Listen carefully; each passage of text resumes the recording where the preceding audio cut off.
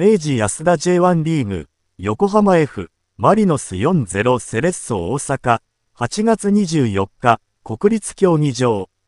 映像、奇跡のワンタッチで軌道を変えた瞬間。トリコロールの10番だけが確信していた。横浜 F、マリノスが国立競技場でセレッソ大阪と激突した試合で、MF 木田拓也のミドルシュートが決まったかと思いきや、ゴール前で FW アンデルソン・ロペスが左足のワンタッチでコースをわずかに変えて押し込んでいた。これに対してファンは、まさかのアンロペ、エッサワった。アンロペのフリック軌道替えがあまりにも、ストライカー、過ぎて良いゴール、と驚きながらも称えている。横浜 FM が2点リードで迎えた83分、ストライカーの教授が群衆を欺いた。FW 井上健太が爆発的なスプリントでハードプレスを仕掛け、横浜 FM が相手陣内でボールを奪う。FW 宮一亮が左サイドから上げたクロスはクリアされるも、こぼれ球を拾った木田が胸トラップから右足を一閃。強烈なシュートがゴールネットを揺らし、キャプテンの今季初ゴールを祝福しようと背番号8のもとに歓喜の輪ができた。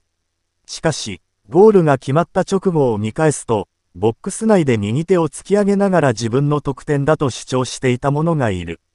アンデルソン・ロペスだ。J リーグの公式 SNS では一度、木田の得点と投稿されるほど誰もが背番号8のゴールだと思ったが、リプレイ映像が映し出されると、ブラジリアンストライカーが左足インサイドでのワンタッチでシュートの軌道をわずかに変えてネットを揺らしていた。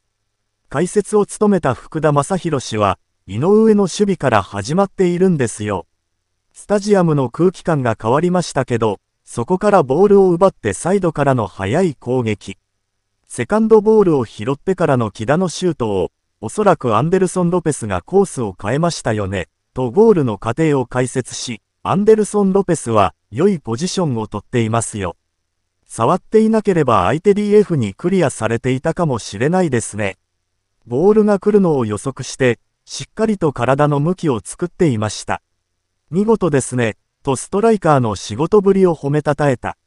このゴールに対してアベマのコメント欄には、しっかり触ってる、うまくコース変えたな、え。アンロペのゴール、と思ったら触ってる。と、ロペスが触っていなかったら止められていたね。素晴らしい。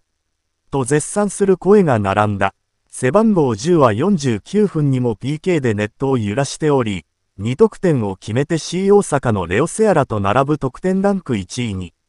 トリコロールのテントリアはチームメイトの祝福を受けた後、サポーターが集結したゴール裏に向かって、ドヤ顔でエンブレムを叩く。自身のちゃんとを全身で浴びるようにして受け、喜びをかみしめた。